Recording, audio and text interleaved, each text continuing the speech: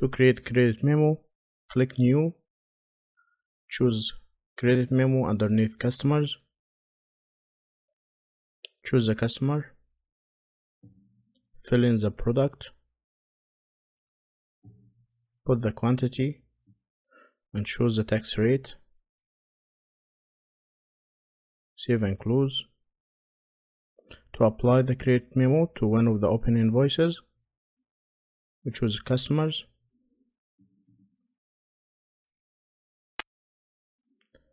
and then receive payment here. We received $71.65 and the invoice amount is $77.95 that's because there is a credit memo of $6.30 the payment was received by check. And check number 1234 save and close. As you can see here the credit has been applied if you like the content, please like and subscribe for more videos. Thanks.